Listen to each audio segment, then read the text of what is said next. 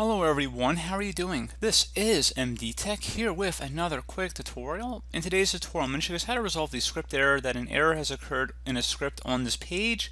This error will typically occur on Internet Explorer. While the browser has been depreciated by most web applications and even Microsoft in several instances, in today's tutorial I will show you guys how to go about resolving it uh, for the people who are still using Internet Explorer for variety of reasons. So we're going to go ahead and jump right into it. And we're going to start off by opening up the start menu, type in Internet Options. Best result should come back with Internet Options right above Control Panel. Go ahead and left click on that to open it up.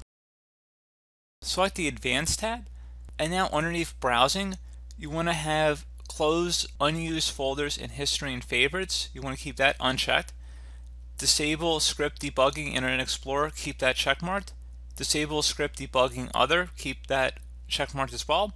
And then where it says display a notification about every script error, go ahead and make sure it is unchecked. And those are the three you want to keep an eye out for here. Once you have it as you see it on my screen, go ahead and select apply and OK.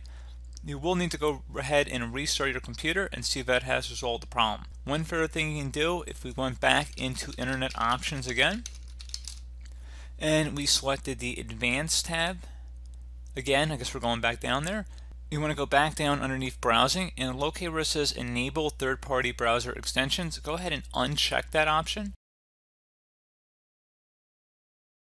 And then select apply and OK. And then see if that resolves the problem too. So that's something else you guys can try.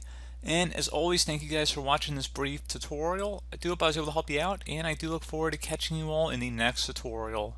Goodbye.